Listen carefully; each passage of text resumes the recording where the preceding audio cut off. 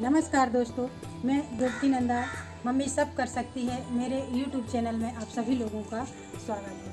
तो आज मैं तिल की पापड़ी का वीडियो डालने वाली हूँ। तो मकर संक्रांति के उपलक्ष्य में आप लोग तिल की पापड़ी का वीडियो देखिए। ये देखिए, जैसे मार्केट में मिलती है, सेम उसी प्रकार से मैंने बनाई है।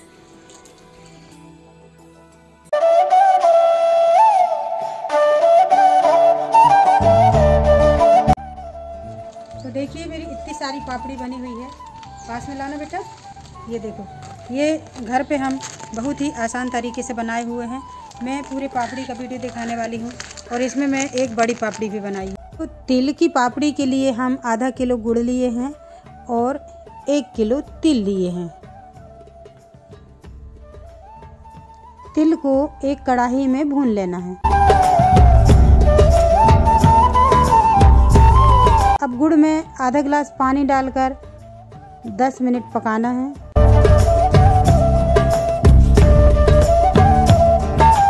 और पकने के बाद इस तरह चेक करके देखना है।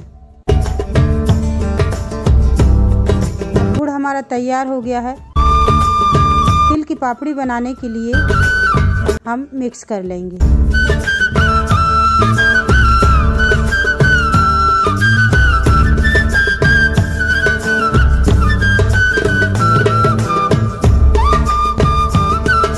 हाथ में पानी लगाना है और पापड़ी के डो को चेक करके देखना है और एक छोटी वाली पॉलीथीन लेंगे और उसमें हम डो बनाकर डालेंगे और पापड़ी बनाने के लिए पिनअप करेंगे।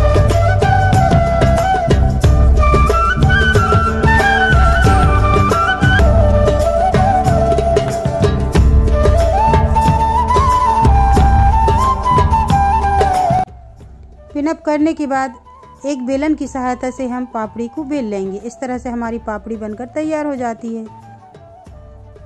अब हम बड़ी पॉलीथीन लेंगे, बड़ी पापड़ी बनाने के लिए।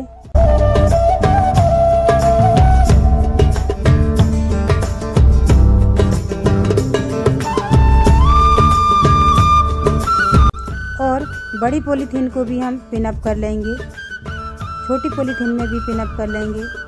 अलग अलग प्रकार से हम बना रहे हैं। देखिए दोस्तों, इस तरह से बड़ी वाली पापड़ी को भी बेल लेंगे और छोटी पापड़ी को भी बेल लेंगे।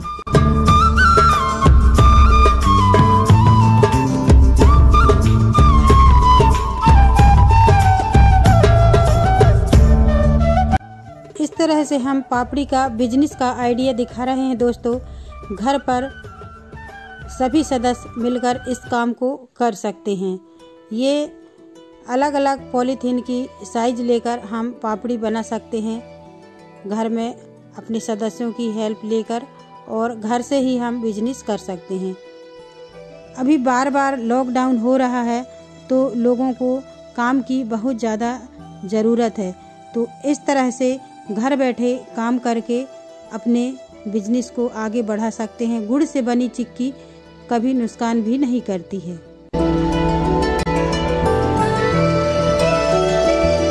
मार्केट में संपर्क करके घर से ही सप्लाई कर सकते हैं।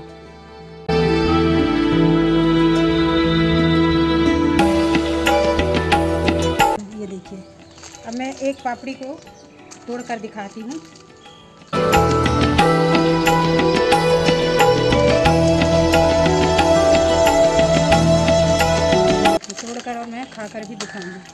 ये देखिए जैसे मार्केट की पापड़ी रहती है ना, बहुत ही टेस्टी बनी है।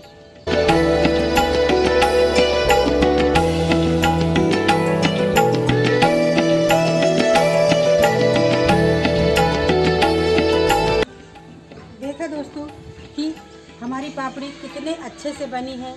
आप लोग भी घर पे बना सकते हैं, जिनको अगर बिज़नेस करना है तो इस प्रकार से पन्नी में भर करके और बेलना है और इसका हम बिज़नेस भी घर बैठे कर सकते हैं। तो कितने अच्छे से बना है, आप लोगों ने देखा।